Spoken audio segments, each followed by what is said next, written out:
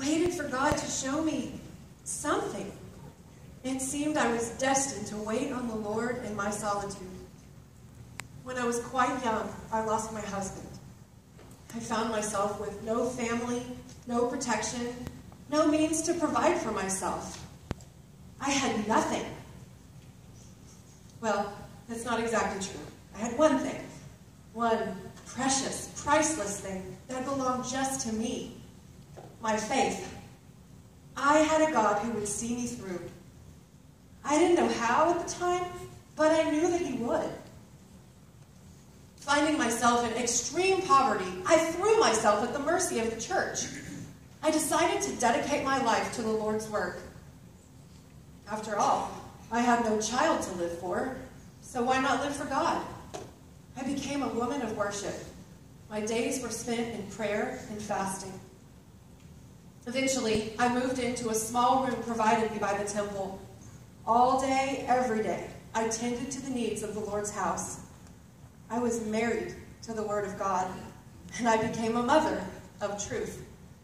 I nurtured and cared for it as if it were a part of me. Well, it was a part of me.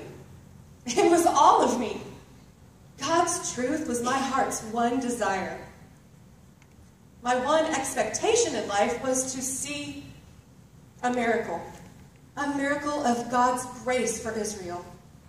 Israel needed grace desperately. As a nation, we had strayed so far from the path of light that we now stumbled in the darkness.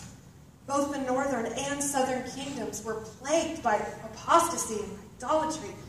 People performed rituals as if putting on a show. The temple in Jerusalem was the one place where true priesthood could offer sacrifice.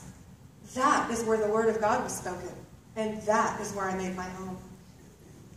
I lived a quiet life, dignified and devoted to ministry. I spent my days teaching the word of God to women.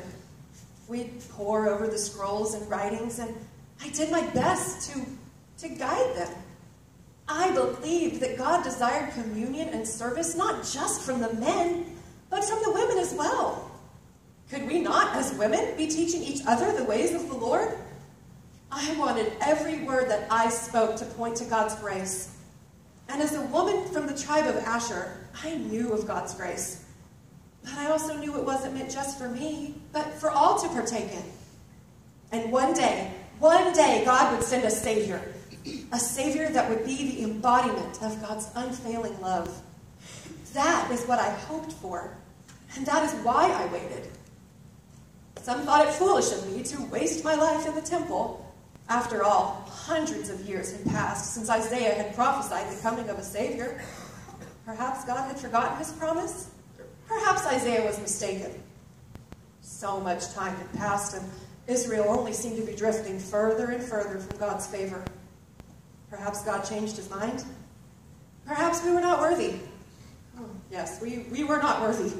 But that never changed God's mind before. He had always come through for his people, and always when we needed him the most. God had been there through it all. He was faithful with his promises. Did he not keep his word with Abraham and Sarah? Or how about Hannah, Ruth, Moses, Joshua, and David, the king? Had he not been faithful to them as well? Yes, the scrolls were overflowing with testaments of God's kept promises. In his own time, he always came through for his people. So why should his people doubt him now? I knew hundreds of years had passed since the prophecy had been made, and I knew that Israel, once a great nation, now lay in ruin at the hands of our enemies. But could that not be seen as our own doing? No, I would not listen to those who would rebuke God's faithfulness. Passionately, I held on to the hope that God would fulfill his vow. After all, there was Simeon. Simeon was a fellow temple servant and a righteous man. God had made a promise to him as well. He told me that God would not let him die until he had seen the Savior. And, well, Simeon wasn't getting any younger. Little did I know how soon God would fulfill that promise. That day was like any other. People came and people went. Offerings were made, prayers were spoken, and blessings were given. But there was one blessing that surprised me. As I made my way through the crowds, I came upon Simeon. He seemed so overcome that I took notice at once. And as I made my way closer, I could see that he was holding a small child.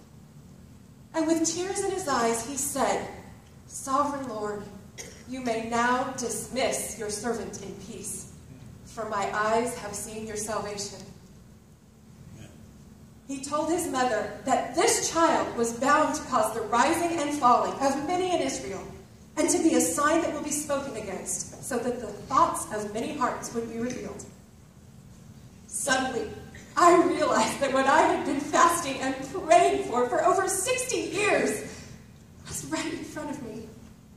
This tiny bundle in Simeon's arms was God's promise fulfilled. He was the answer, the Messiah. Years and years of fervent prayer were now turned to praise. God had led me to that exact moment so that I might bear witness to the unfolding of God's mercy and grace. Me, a flower who is quickly fading, was chosen to see God's glory face to face. How could I not share this news with all who I met? Who am I? I was the one who waited.